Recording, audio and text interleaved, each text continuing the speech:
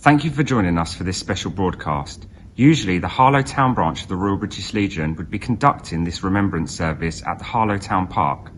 In light of the restrictions, sadly, this hasn't been possible today. The service you're about to watch was filmed prior to the national lockdown and following relevant government guidelines. Thank you for joining us. Remembrance is when nation honours the sacrifice of all those who have given their lives in war, not only in the First and the Second World Wars, but in the conflicts that have taken place since. We remember the families of the fallen and all those who have been injured and bear the scars of war. We in the military place great value in joining the public to mark remembrance. The military is drawn from society, and we remember the fallen as sons, daughters, husbands, wives, brothers, and sisters, as much as they were soldiers, sailors, and airmen. This year, as we face the challenge of coronavirus, we are not able to stand side by side at the Essex War Memorials to mark remembrance as we have done in previous years.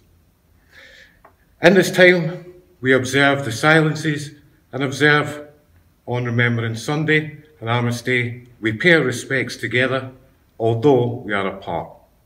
We will remember them.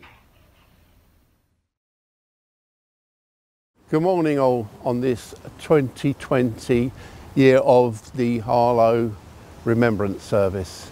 My name is Bob, the Royal British Legion Padre, Reverend Albert Watson.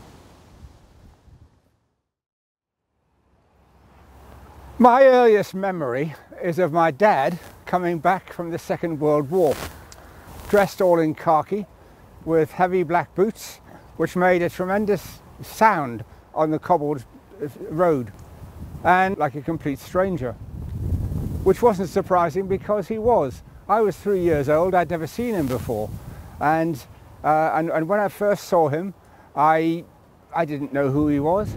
It wasn't helped by the fact that he took my place in my mother's bed. And that didn't please me at all. But my dad, in many ways, was a typical uh, soldier of the Second World War. He was in the Eighth Army. He travelled through Alamein and, uh, uh, and Tobruk and, and some, of the, some of the places that are now famous in the history of warfare. And he did that because he believed in something. He believed in the British way of life. He lived uh, a, a good life and he was someone who in many ways was not an impressive man. He was, he was very short, about five foot six, and yet he became a soldier in the Second World War and saw many, many actions. And he was one of those unusual veterans in that he didn't mind talking about the war. He was quite pleased to talk about the war. And he, was, he used to tell me horror stories when I was growing up. He told me once of a time when he and his comrades were, were told to start firing at a certain time because he was a gunner. And, uh, and just at that moment, uh, there would be some mix up in orders and the Australian troops who were just a bit further down the line advanced across the line of fire and the, uh, the people like my dad had to watch themselves shooting their comrades from Australia. And he never forgot that. He also never forgot the time when he was, he and another soldier were manning a gun. They were on either side of the gun and they were chatting as they could between the, between the blasts. And then after one blast, my dad said something, got no reply. And when he turned to look at his comrade, the comrade had no head, but had just been blown off. And somehow my dad came through all of that. And one of the, one of the reasons why he came through it was that I remember the, the exact words he used when he told me this. He said, I have never known friendship like it, either before or since. And that was one of the things that inspired him during that terrible, terrible conflict during all the horrors that he saw. And like many, many men, he came back and lived good, decent life. He lived a life um, worthy of uh, his calling. And he was a man who somehow found within him, in those circumstances, qualities that he never believed he would have. He found courage. He found a spirit of self-sacrifice. And these are not things that you associate with ordinary people. What the war did to him, it didn't break him at all. It enriched him. And that is one of the paradoxes of the situation that we find ourselves in. I mean, we, when I was, uh, when I was a teenager in the 1960s, I was very much a peacenik. I was a, a pacifist. I was ban I, I, wanted to ban the bomb and all, all of that. And so it's simply that alongside my hatred of war, and I really do hate war, alongside that, I recognize the ordinary man. And when you look around this particular memorial, you realize that didn't stop. I mean, most, like my dad, like most of the uh, Second World War vets, is, is, isn't no longer with us. But the, the spirit that they had and the, the need for our defense is as strong now as it ever was. Behind me, there are the names of people who have died since 1945. And we have a local hero ourselves here who died in Afghanistan, Rob Foster. And we need to remember these people because the horrors experience, human beings are still capable of doing those things. And we need to be defended against evil then and now to be there to protect us. They deserve our honour and our respect and that's why we're here today. So if you want to personalise what's, uh, what I'm talking about, just think of little Albie Watson, my dad, Gunner Albie Watson, a man who has, was not extraordinary in any way except that he was very extraordinary when it came to defending his country and what he believed in.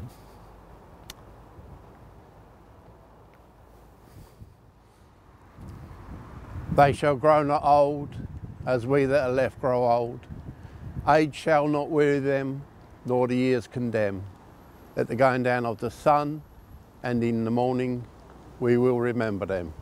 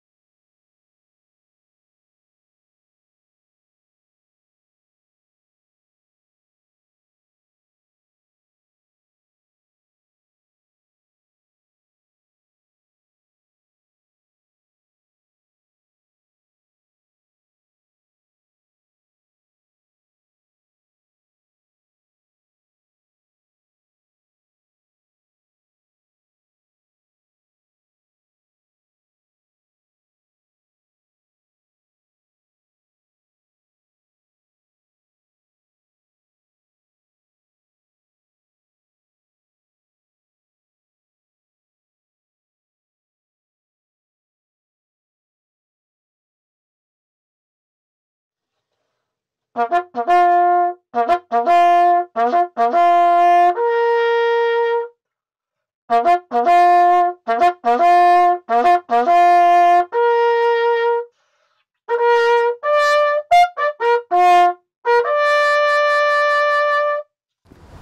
you go home, tell them of us and say, For your tomorrow, we gave our today.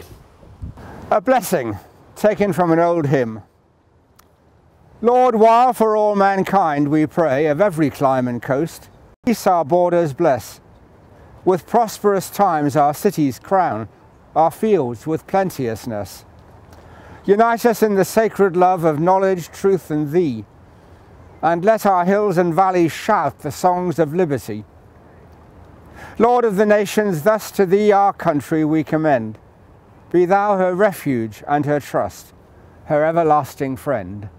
And the blessing of God Almighty, the Father, the Son, and the Holy Spirit be amongst you and remain with you always.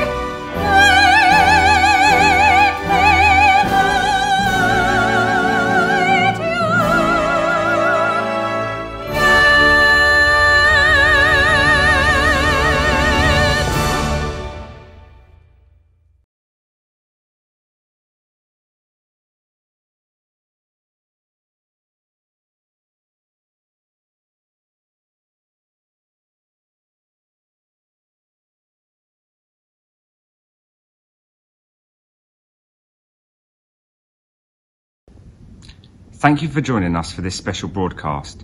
Usually, the Harlow Town branch of the Royal British Legion would be conducting this remembrance service at the Harlow Town Park.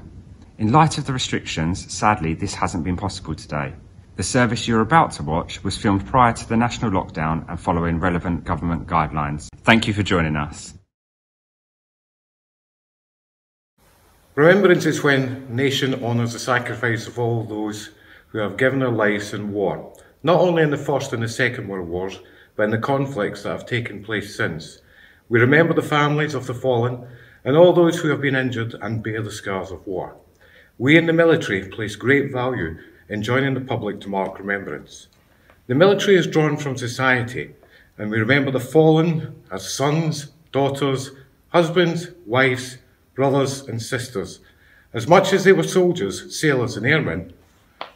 This year, as we face the challenge of coronavirus, we are not able to stand side by side at the Essex War Memorials to mark remembrance as we have done in previous years.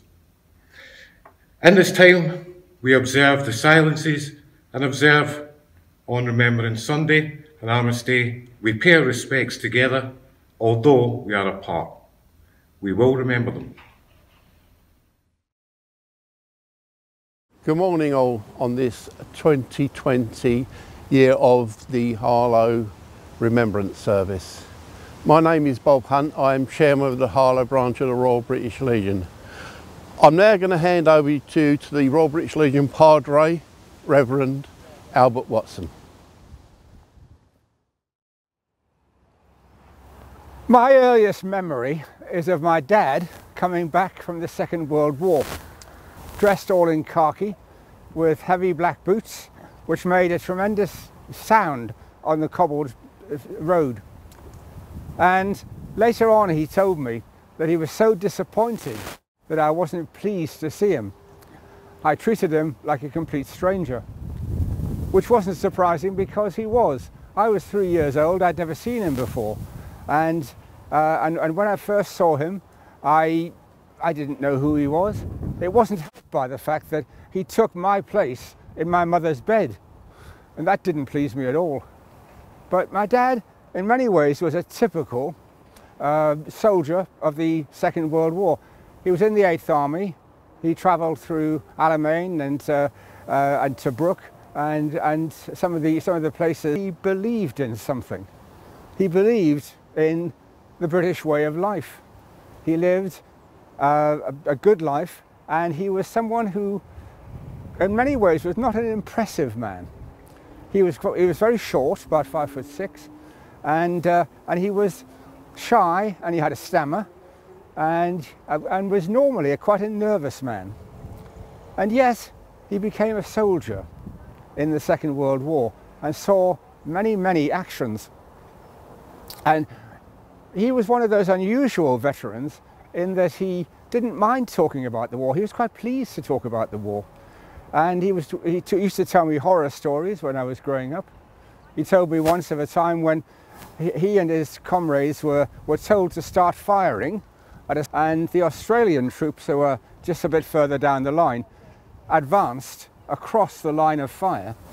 And the, uh, the people like my dad had to watch themselves shooting their comrades from Australia. And he never forgot that. He also never forgot the time when he was, he and another soldier were manning a gun. They were on either side of the gun and they were chatting as they could between the, between the blasts. And then after one blast, my dad said something, got no reply. And when he turned to look at his comrade, the comrade had no head. It had just been blown off.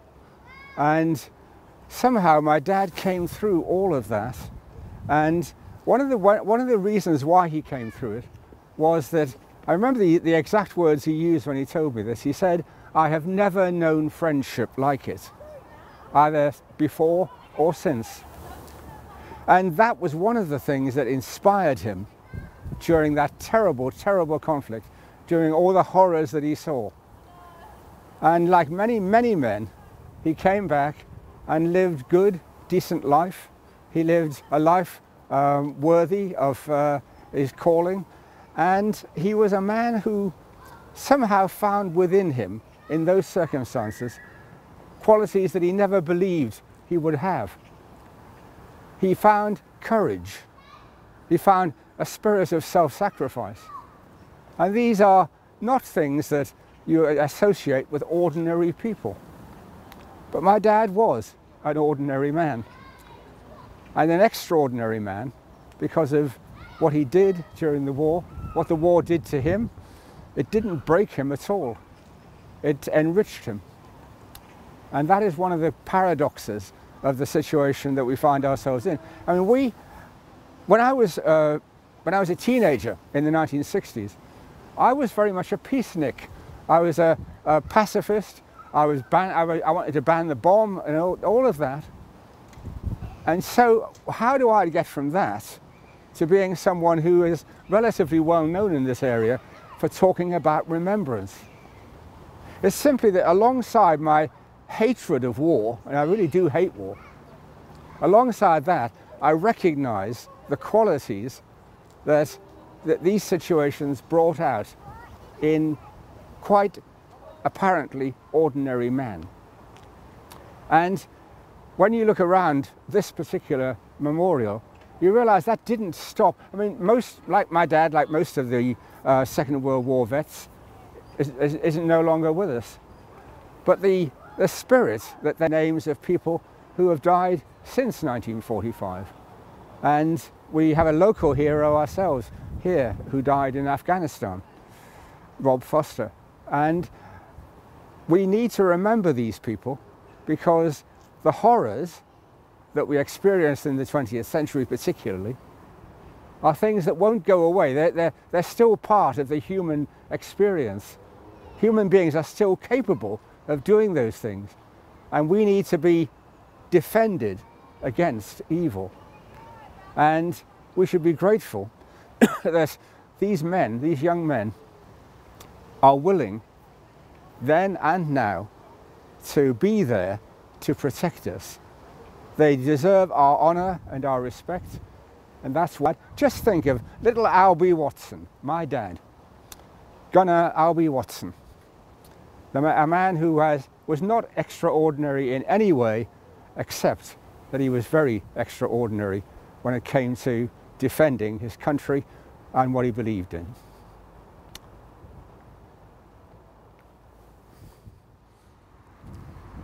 They shall grow not old, as we that are left grow old.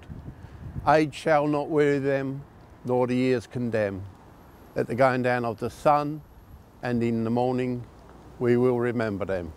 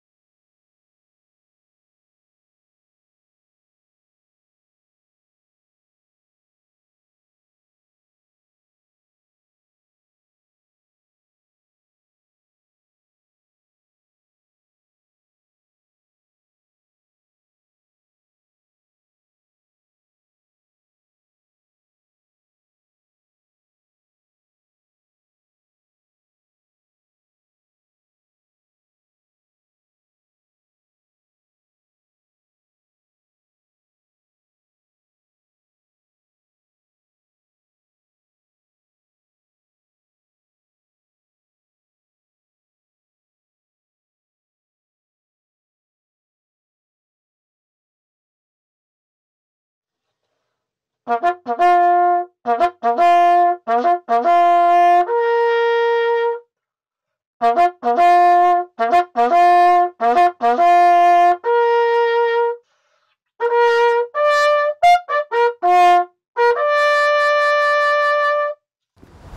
you go home, tell them of us and say, for your tomorrow, we gave our today. A blessing taken from an old hymn. Lord, while for all mankind we pray of every clime and coast, O hear us for our native land, the land we love the most. O guard our shores from every foe, with peace our borders bless. With prosperous times our cities crown, our fields with plenteousness. Unite us in the sacred love of knowledge, truth and thee, and let our hills and valleys shout the songs of liberty. Lord of the nations, thus to thee our country we commend. Be thou her refuge and her trust, her everlasting friend. And the blessing of God Almighty, the Father, the Son, and the Holy Spirit be amongst you and remain with you always.